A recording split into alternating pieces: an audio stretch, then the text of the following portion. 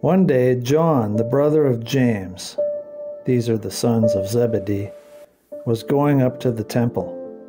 A Pharisee by the name of Arimaneus came up to him and challenged him, asking, Where is the teacher you used to follow?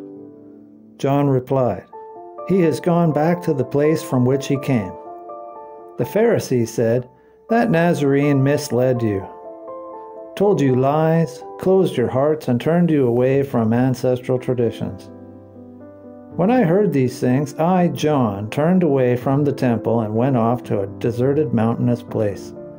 I was very unhappy, saying to myself, How was the Savior designated?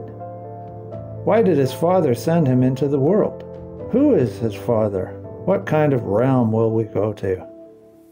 For although he told us, This realm is modeled on the imperishable realm, he didn't teach us about the latter all of a sudden, while I was contemplating these things, behold!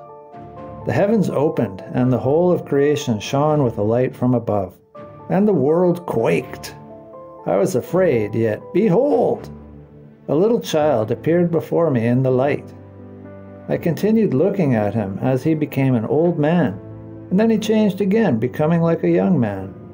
I didn't understand what I was seeing, but the one likeness had several forms in the light and those likenesses appeared each through the other, and the vision had three forms.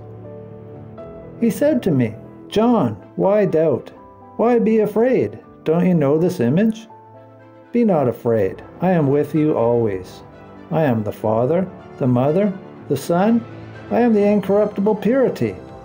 I have come to teach you about what is and what was and what will be in order for you to understand the invisible world and the world that is visible, and the immovable race of perfect humanity.